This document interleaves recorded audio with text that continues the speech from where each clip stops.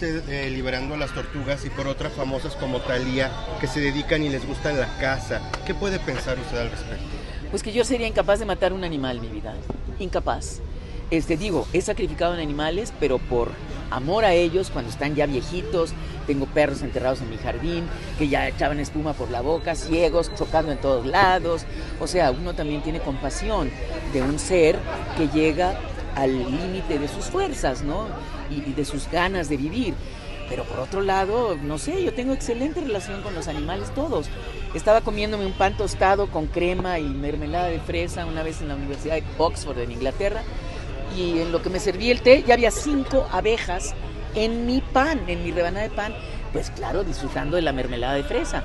Y entonces dice mi cuñada, ay no, quítalas, quítalas. Dije, no, pero ¿por qué?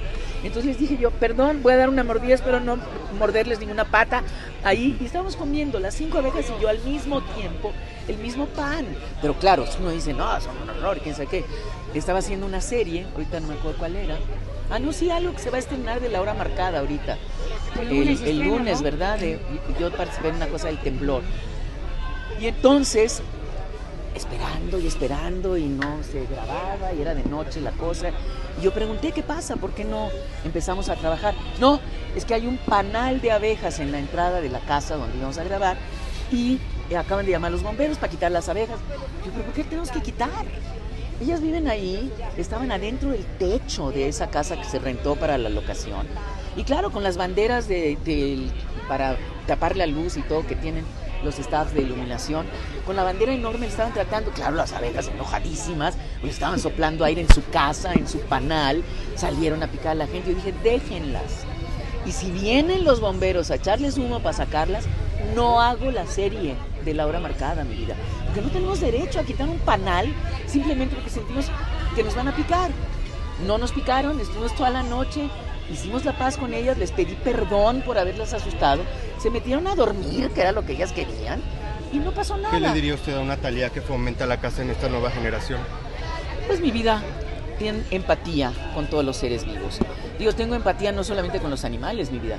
Los árboles, las plantas, todos son sensibles y todos responden a nuestra energía y a nuestro cariño, todos. Entonces hice una serie con Aislinn Derbez el mes pasado, se llama Entre Paredes, rentaron una locación en la calle de Mesones y la amueblaron todo el patio y todo eso con muchas plantas que rentaron de algún invernadero. Y la gente pasaba trozando las hojas de las plantas, las ramas de las plantas. Y yo, ¡ey, ey, ey! ey hay una planta viva aquí. ¡Ay, ni la había visto! Pues entonces, ¿qué ven, mi vida? Yo ahorita siento que me está picando esta, esta planta y aquí la estoy acariciando porque me vine a meter aquí donde ella vive. Este, pero no tenemos ningún derecho a este a disponer de la vida ni de una planta, ni de un animal, ni de un ser humano. Tampoco. Siendo figura pública hay que tener responsabilidad, ¿no? Claro. No siendo. Tenemos que tener responsabilidad porque Pero... tenemos familia, mi vida. Entonces usted ante sus papás, sus hijos, sus sobrinos, sus vecinos, tiene que ser una gente responsable porque si no, caemos en muchas cosas que estamos viendo en este país, como la rapiña en Acapulco, cuando se rompen todos los vidrios y quedan expuestas las tiendas y la gente entra a robar desmedidamente. Sea, no podemos caer en esas eh, circunstancias de la involución humana, porque es antinatural. La naturaleza y el universo nos crean para evolucionar. Evolucionar quiere decir de la oscuridad vamos a la luz.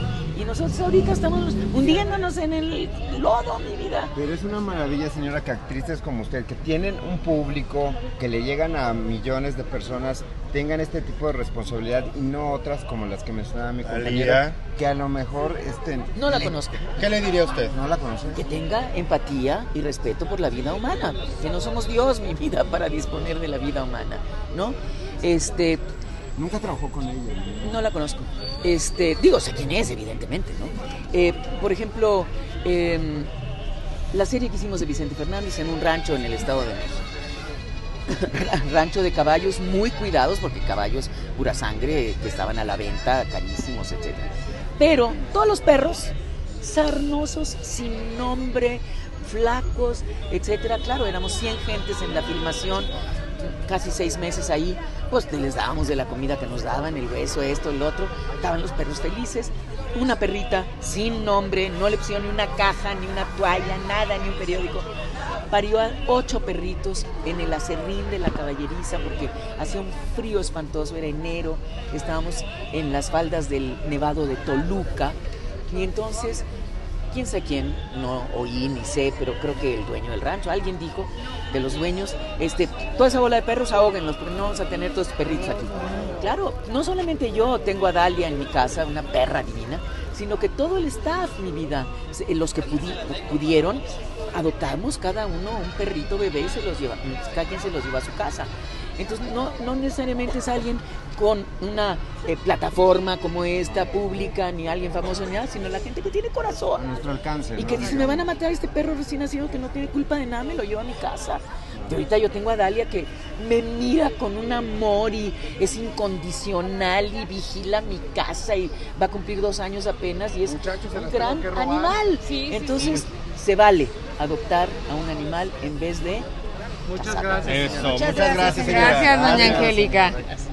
Y luego, ya apagados los micrófonos, existen